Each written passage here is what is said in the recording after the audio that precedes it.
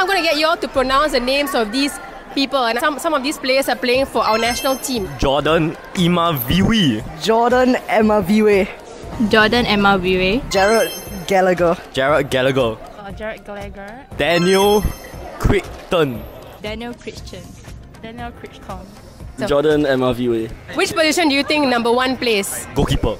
Keeper. uh, forward. I'm gonna guess left wing. Uh, Jordan Emaviwe.